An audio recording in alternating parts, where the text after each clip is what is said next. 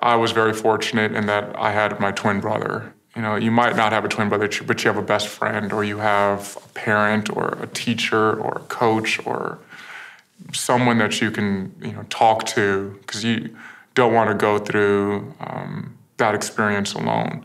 You don't want to internalize um, those emotions. It's never good to internalize those. It's always good to express them to someone that you trust and express them to some to someone